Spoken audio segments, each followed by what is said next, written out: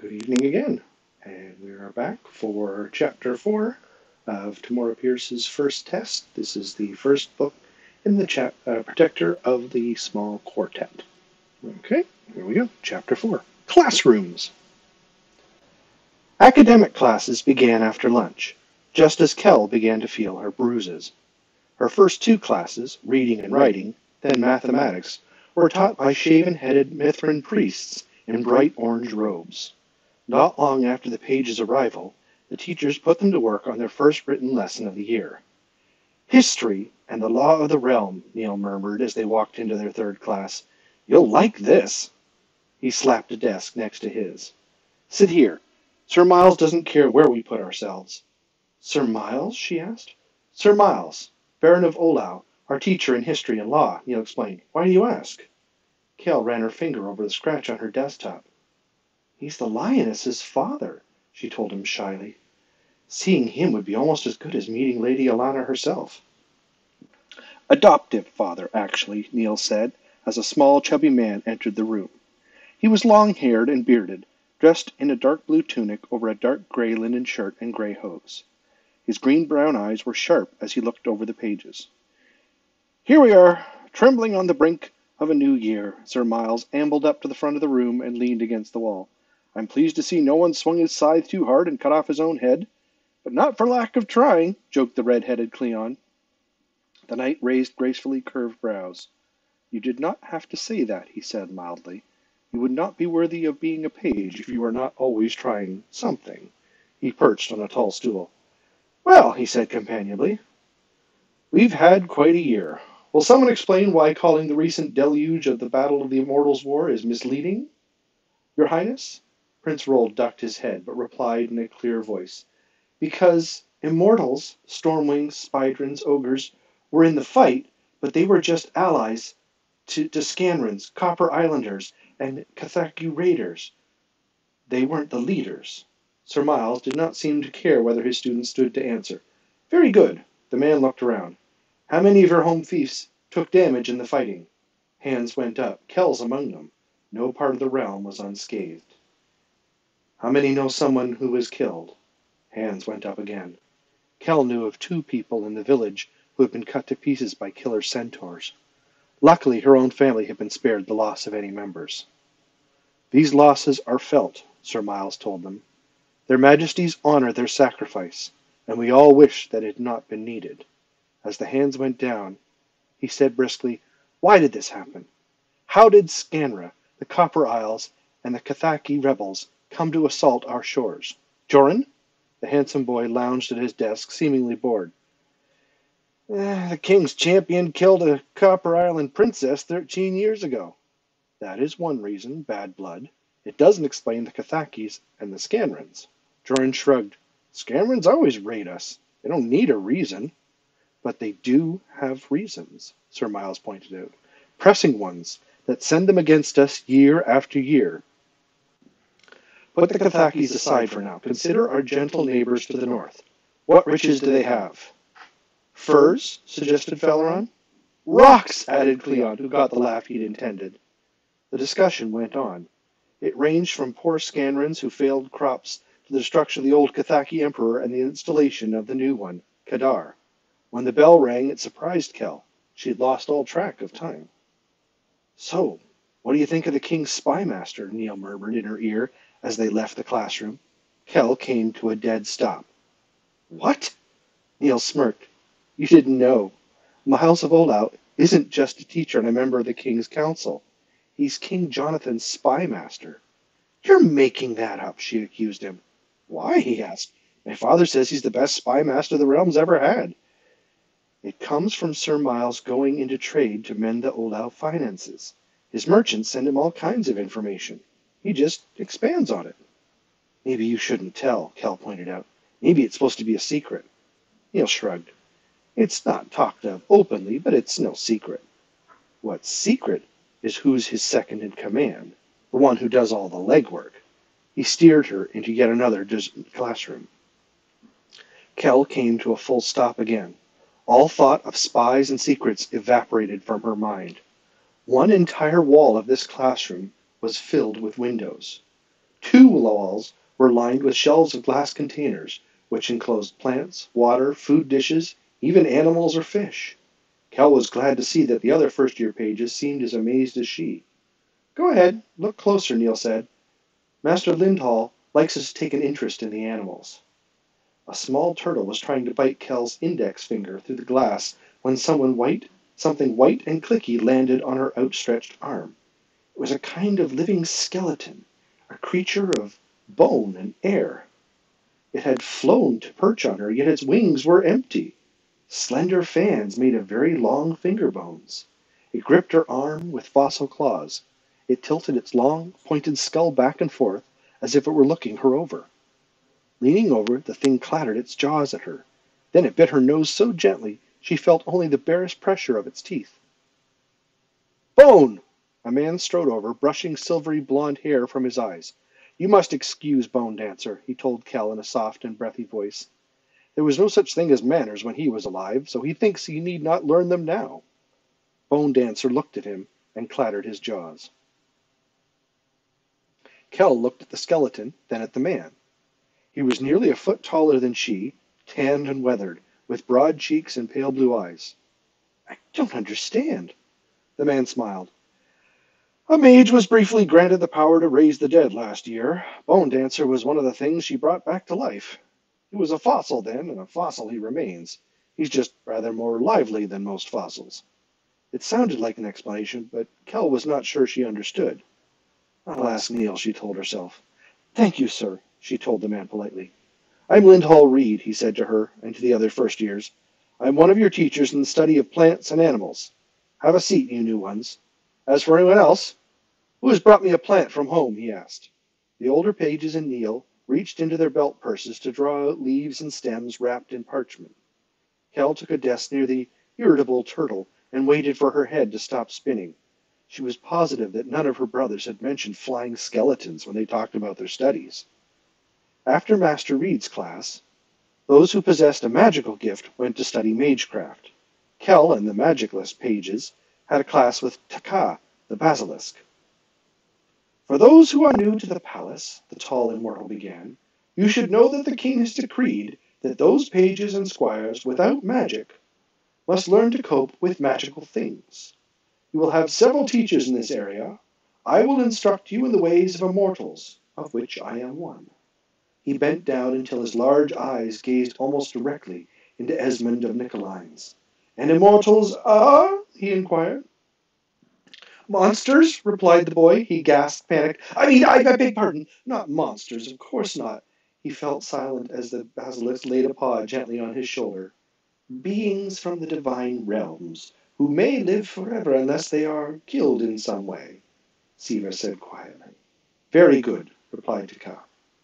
Some are monsters, sir, added Seaver, meeting Tkaa's gaze steadily. My father was killed by a spidren. Kel thought of the one that she had faced at Mindelan and swallowed hard. My sympathies, replied the basilisk with a bow. Spidrens are monstrous. Let me tell you of their creation and of their habits. The page listened with fierce attention. Spidrens laired throughout the realm and were a deadly threat. Their final class of the day was etiquette, taught by Upton Oakbridge, the royal master of ceremonies. The room was hot and the work so boring that Kel had to fight to stay awake. She ached all over from the morning's activities. The new pages were taught bows to nobles of different rank, which only made her muscles ache more. The older boys hid yawns as they practiced writing formal letters. As the class drew to a close, everyone was given a book and assigned to report on its first chapter for the next day. When Kel saw the title, she grinned. Oakbridge was on her like a cat. What amuses you, probationary page? Can't you pretend I'm just like everyone else? thought Kel as he got to her feet. Nothing, sir. But you are amused, it's quite clear. You must share the joke with us, probationary page, now, if you please. He stood before her desk, one fist planted solidly on a hip. She could hear his foot tapping briskly. Master Oakbridge. Lord Wyldon shall school you properly in the matter of excuses. I'll accept no more evasion, probationary page. Kel opened the book and pointed to the author's name. Sir, the writer is my father. The master of ceremonies snatched the book away and scowled at the title page. What of that? he demanded. The child does not have all of his father's knowledge.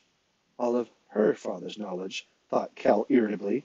Excuse me, Master Oakbridge, Neal said in his friendliest voice, but Kel doesn't have all of her father's knowledge, not his. Dropping her blank Yamani mask face, Kell glared at him. Oakbridge also glared at Neal. The majority of you are lads. Proper usage calls for male pronouns when males are part of the group. Except that you addressed Kel alone, which then demands the exact term. Kel clenched her hands behind her, where Master Oakbridge could not see them. She promised herself that from now on she'd try to sit as close to Neal as possible. She could not kick someone eight chairs away. Oakbridge gave Neal a look that would have stripped paint, then turned back to Kel. You have not answered me, he said. Have you your father's knowledge? You are but a child. Yamani etiquette is serious, Kel replied, her face once more Yamani calm. Especially at the Emperor's court. People have their heads cut off if they don't bow right. Oakbridge stared at her for a moment. Then he pursed his lips. Review this entire volume tonight, probationary page Keladry, he announced. Tomorrow you will report on those parts that are familiar to you, and which parts, if any, are not. Should I be satisfied as to the breadth and depth of your knowledge, I may call on you to assist me in preparing for courtesies to the Yamanis. To the pages he explained, As I am certain his highness is well aware, he looked at Prince Roald, who nodded, their majesties have arranged for a state visit next fall by Princess Shamaki of the Yamani Empire.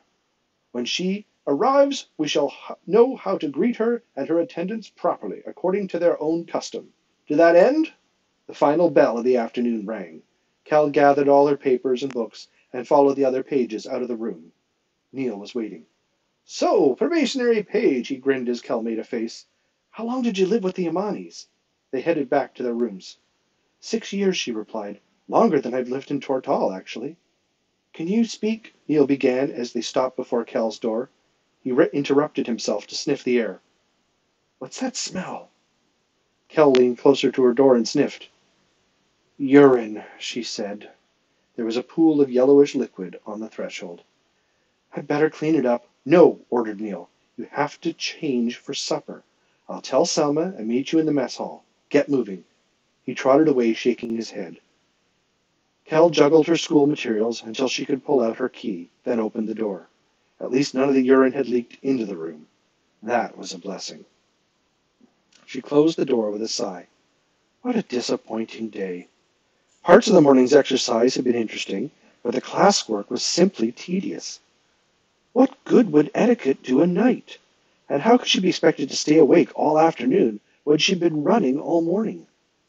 Couldn't she just do the physical training and forget learning a whole new set of bows? It is not your place to question what the masters want you to learn, she told herself. Your place is to obey. Is what her Yamani teachers would have said if they had heard Kel's unhappy thoughts. I just wish obedience was more exciting, she told them silently as she began to change her clothes for supper. Is that too much to ask? Once they had filled their trays, Kel and Neal went to the spot they had claimed as their own and sat. Kel picked up her fork, but Neal shook his head. She looked around. All of the boys had taken their places, but no one had begun to eat. She raised her eyebrows at Neal, who whispered, No stump. Everyone fidgeted. Kel's stomach growled. At last the door opened. The squires jumped to their feet and bowed. Someone murmured, The king! Then everyone was up and bowing as two men, the king and Lord Wyldon, walked up to Wyldon's small table. Kel stared as the ruler, whose domain she wanted to serve so much. King Jonathan was the handsomest man she'd ever seen. He was an inch shorter than Wyldon, but the training master faded beside him. King Jonathan's neatly trimmed hair and beard were coal black, framing a face that was tan from a summer outdoors. His nose was straight and proud.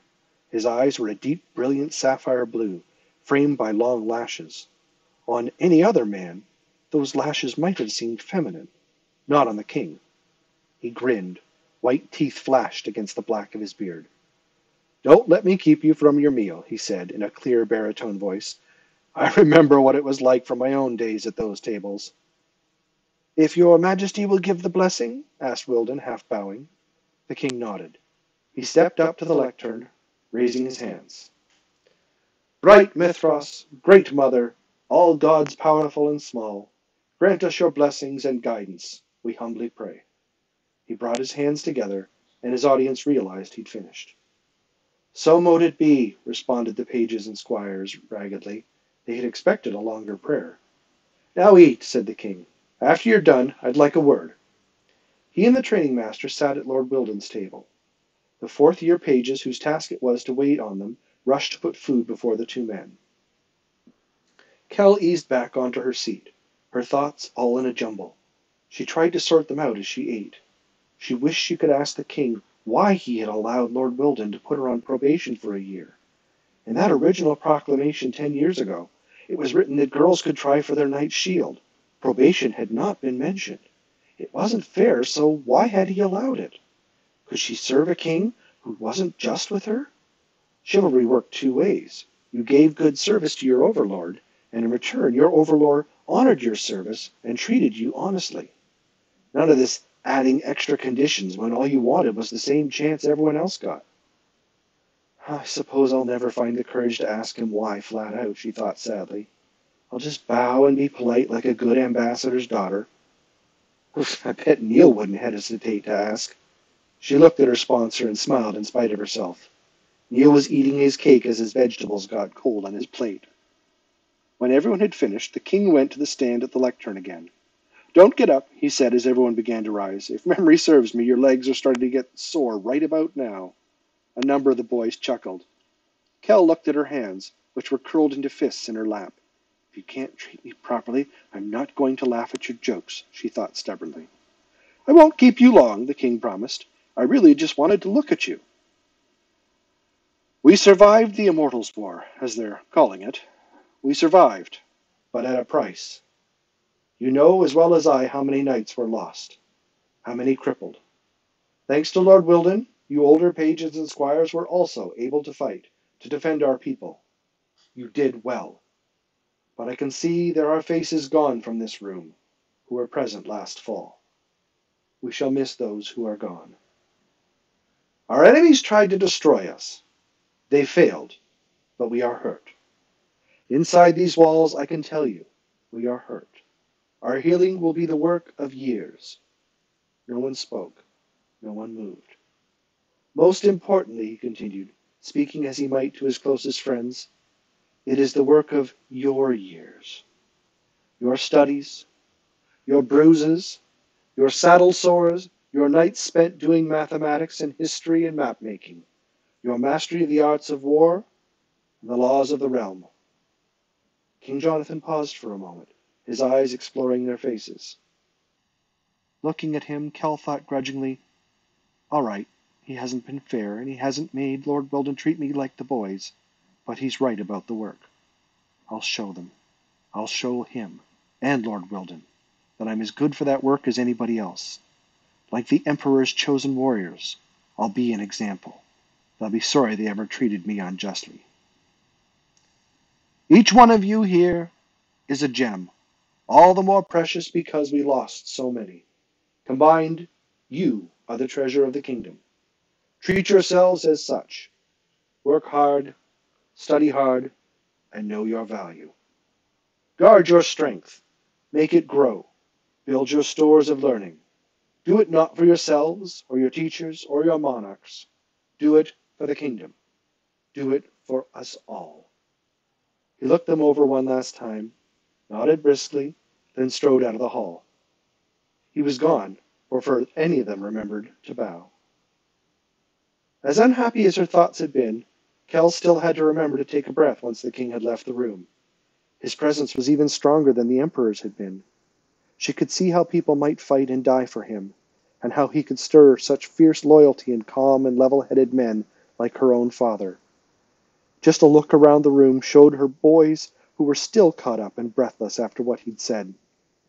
Even Neal, who seemed so world weary, looked eager. When he realized her eyes were on him, he smiled. Isn't this a great time to be alive? he asked.